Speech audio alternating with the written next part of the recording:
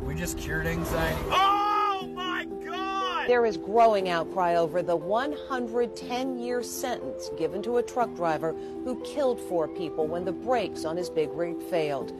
The judge says his hands were tied thanks to sentencing guidelines, but more than 4 million people have signed a petition saying that sentence has got to be changed.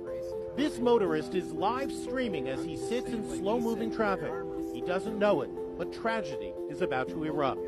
The big rig that just sped past him crashes, triggering a fireball in which four people were killed. The crash happened in 2019, and now the truck driver, Rogel Aguilera Mederos, is about to hear sentence pronounced.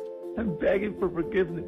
He says his brakes failed, but prosecutors say he passed a runaway truck ramp where he could have pulled off.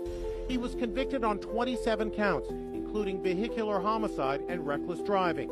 Because of sentencing guidelines in Colorado, he was sentenced to 110 years.